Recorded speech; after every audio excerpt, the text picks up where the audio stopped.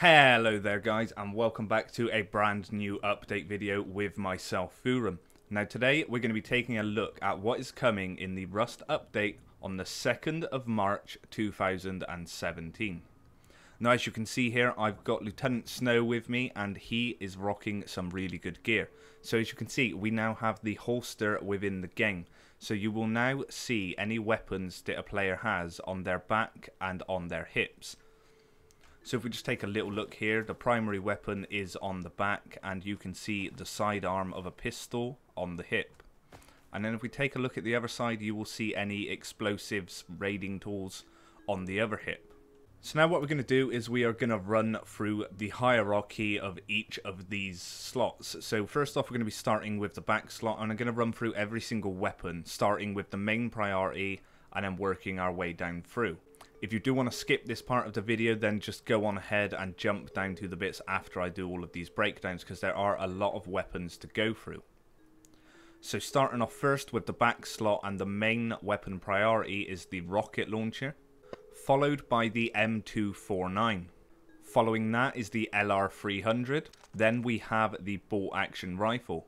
Next up we have the AK slash assault rifle, then we have the MP5. Next is the flamethrower, and then the semi-auto rifle. Next is the custom SMG, followed by the Thompson, then the pump shotgun, followed by the double barrel shotgun, then the water pipe, then the crossbow, then next is the bow, then the mace, followed by the salvaged cleaver, then the longsword, then next is the stone spear, followed by the machete, then the salvaged sword, Next is the wood spear, then the pickaxe, then the salvaged axe.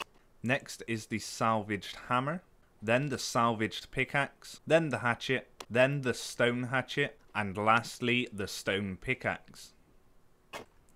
So now we'll be taking a look at the sidearm slot. So the first and most primary weapon is the M92, followed by the P250 slash semi-auto pistol. Next up is the Python, followed by the revolver, and then lastly the Eoka pistol. And then for the last slot, which is the raiding tools slash explosives slot.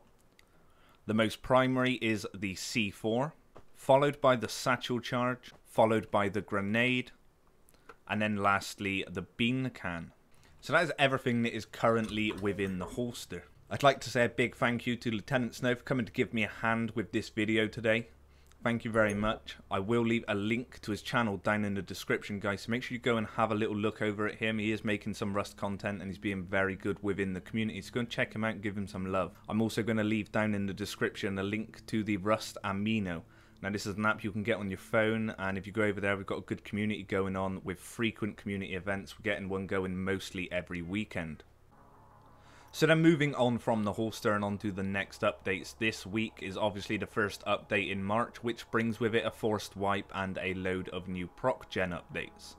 So the first thing you're going to be noticing here in front of me is overgrowth. Now you will be seeing this on all of the trash piles plus all of the monuments. Now I'm not going to go around and show it all to you because that completely ruins it. It looks very good and you are going to have a lot of fun exploring You'll also notice here to the left hand side that we do now have new plants and flowers also and these will slightly sway in the wind.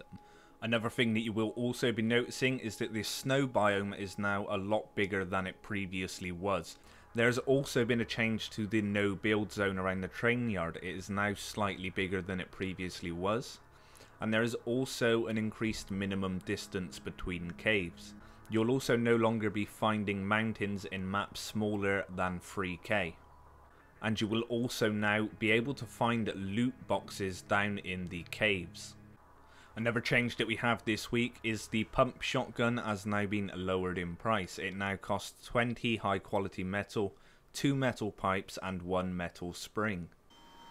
And then the last thing that I have for you guys this week is an update with the turret.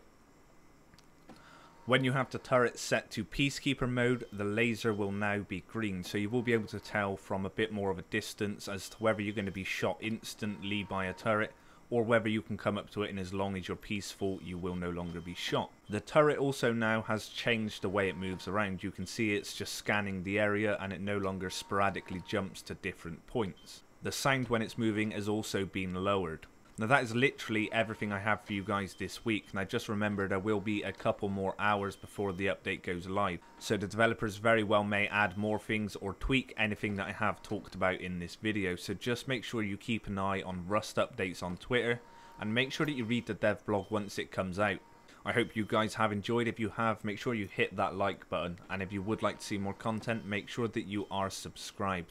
Thank you very much guys, have a good day.